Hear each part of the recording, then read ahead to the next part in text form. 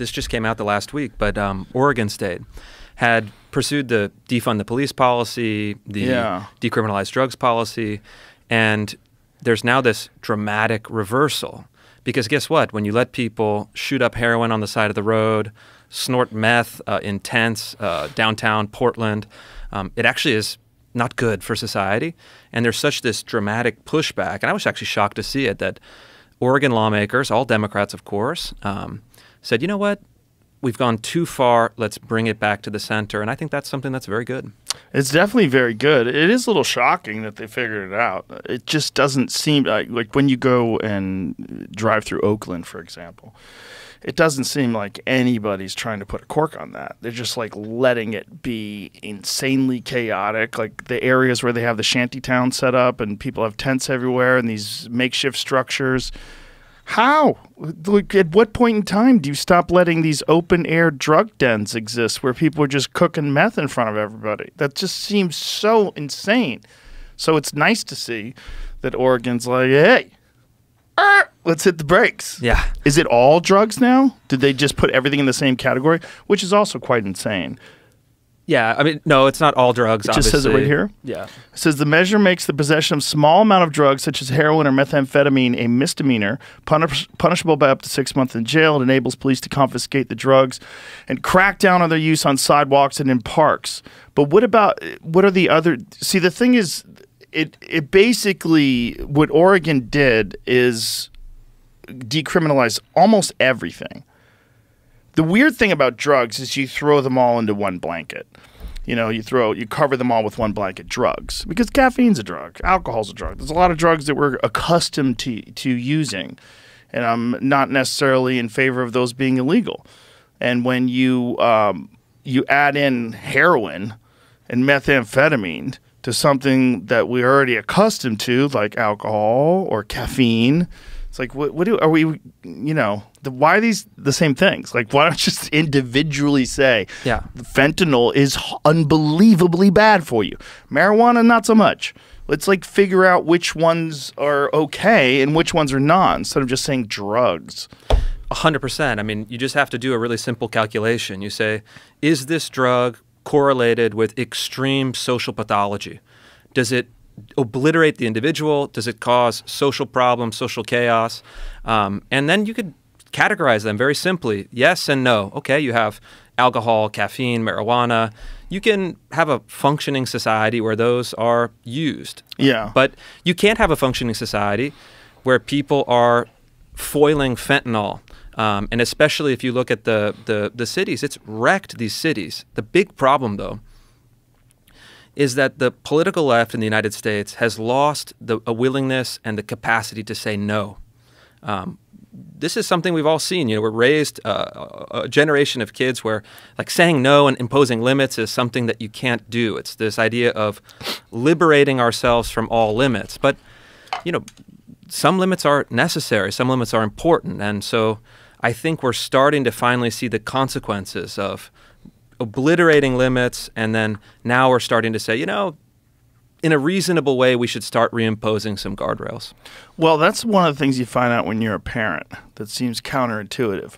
But one of the things you find out is that children are happier when you impose limitations on them, which sounds so crazy. But they are happier and they have less anxiety, apparently. Obviously, I'm not a doctor. Because they're by having structure to life, it doesn't seem like everything is like if they're in charge, like, oh my God, I'm 12 and I'm in charge. I have no idea what's going on and I could stay out late all night. The world's chaos, which it kind of is in some ways. But by imposing structure on them, it gives them comfort. And I find that's the case with human beings. I find that the people that I know, even artists, even comedians and wild folks, the, the, the people that have structure in their life, like have families and children and have like workout routines or things that they enjoy doing on a regular basis that they're very dedicated to, those are the happiest people. They're the healthiest people. They're the people that seem to feel like there's a purpose to life. The purpose is your loved ones, your family, your community, the people you hang out with, the stuff you like to do, whatever it is, pickleball, whatever it is.